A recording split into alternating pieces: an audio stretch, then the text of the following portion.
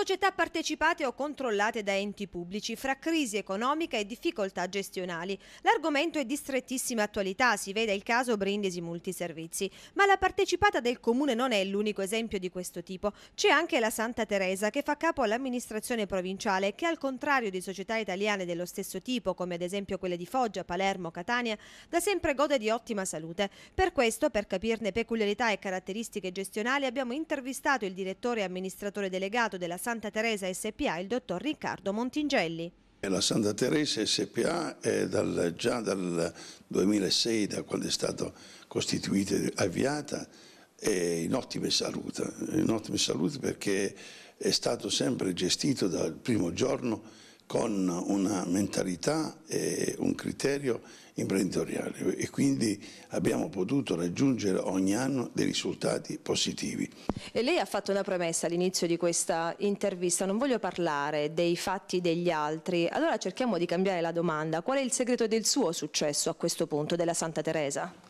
Beh, il segreto del mio successo è anche un orgoglio nostro stesso, è quello che dopo 45 anni di esperienza penso di aver insegnato e di aver messo in atto quello che è stato frutto di tanti anni di sacrificio. I risultati sono frutto di una rigida applicazione delle procedure che la legge impone per la gestione delle società a capitale pubblico. È stato adottato il modello organizzativo previsto dal decreto legislativo 231 del 2001.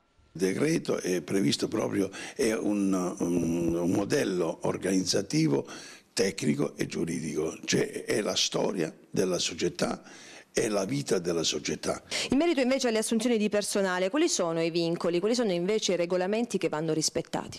Ma proprio in questo modello 231, che poi è un modello anche che evita reati e evita anche errori e quindi una gestione perfetta, è previsto anche le modalità di acquisto, le modalità di assunzione, cioè eh, la, le società con capitale pubblico di maggioranza, parlo di capitale, eh, capitale, società di capitale in qualsiasi genere, SRL, SPA qualsiasi voglia, devono rispettare quello che è la legge e quello che è il modello 231, cioè deve essere ad evidenza pubblica.